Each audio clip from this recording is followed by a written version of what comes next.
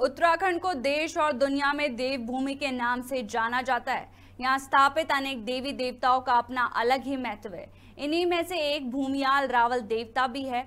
भूमियाल रावल देवता की बनियात यात्रा 22 नवंबर से शुरू होने जा रही है। जिसको लेकर ग्रामीणों में अलग ही उत्साह है। बनियार्थ यात्रा को लेकर 50 लोगों की एक समिति का गठन किया गया है।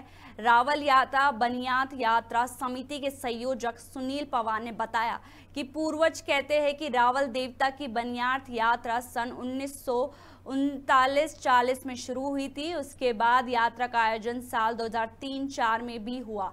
अब 2023 में फिर एक बार यात्रा निकाली जाएगी। छह महीनों तक रावल देवता विभिन्न गाँवों का भ्रमण कर नौ दिनों की पूजा के बाद गर्भगृह में स्थापित किए जाएँगे। चमोली से संदीप कुमार की रिपोर्ट।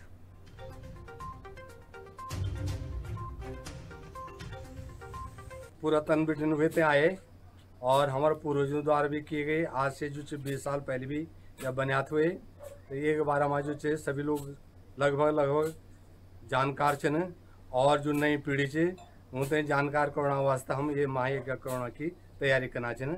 बहुत बहुत धन्यवाद। हम तो सिर्फ़ मालूम है कि दो हज़ार तीन चार माई हमने ये बुनियाद करे और जो लगभग लगभग बद्रीनाथ, केदारनाथ द्वि धामों की परिक्रमा करता और अगर वे टाइम पर पट खुला छन तो द्विधामों यात्रा होली और अगर पट बंद हुए के भी तो तब भी एक धाम की यात्रा हम जो है अवश्य सही रूप में जे स्थान पर जे करोड़ पड़ली यू पहले भी हुए थे आए इन बतौना और राहुल दिवते बुनियाद जो ये सब पहले हुए थे दो हज़ार तीन चार में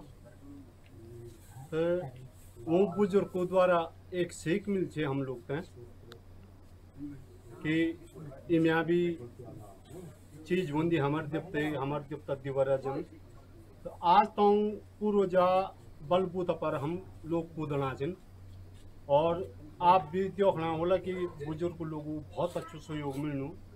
नवयुग को बहुत अच्छो सहयोग मिलनु।